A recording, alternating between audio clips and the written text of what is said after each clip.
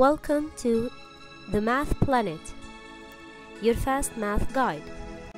Hello everyone, I am Tim.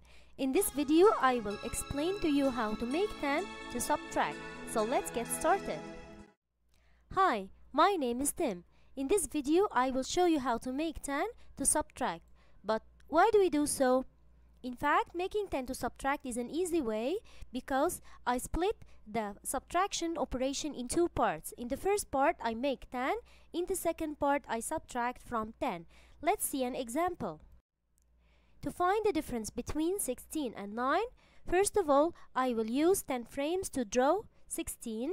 Then, I'll subtract 6 to make 10. Then, I'll subtract 3 more to get the difference. So, I split the 9 into 6 and 3.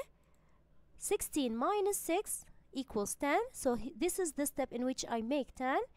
And then I'll subtract 3 more from the 10 to get the difference which is 7. So 16 minus 9 equals 7. So making 10 strategy works as follows. First of all, I draw the whole or the number I am subtracting from. Next, I break apart the part which is the number I am subtracting. I subtract to make 10. Next, I subtract from 10 to get the difference. Let's solve one more example. To find 13 minus 8, I will draw 13 counters using 10 frames. Next, I'll break apart the 8 into 3 and 5. So, I'll subtract 3 to make 10. 13 minus 3 equals 10. Next, I will subtract 5 more. So, 10 minus 5 equals 5. And the difference will be 5. Now, can you help me to solve this last example? To find the difference between 15 and 7, first of all, I will draw the 15 using 10 frames. Next, I will split or break apart the, the 7 into 5 and 2. So, I'll subtract 5 to get 10. Then I'll subtract 2 more to get the difference which is 8.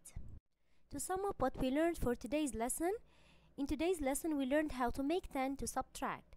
To do so, I draw the number I am subtracting from. Next, I break apart the number I am subtracting. Then I make 10 to subtract, then subtract from 10 to find the difference. We are done for today's lesson. Hope you liked the video. Thanks for watching. Please subscribe for more videos. See you later. Bye.